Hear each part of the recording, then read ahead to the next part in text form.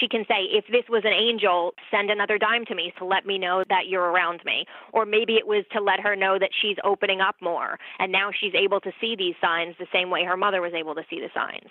So that's 100% what I feel is that they will use things that you are familiar with, whether it be through a story of someone else, whether it be something you hear from me or from Mimi while we're talking about this. You, know, you may wind up seeing dimes now from listening to this, right? Because they're like, oh, these people are going to get this, they'll understand it.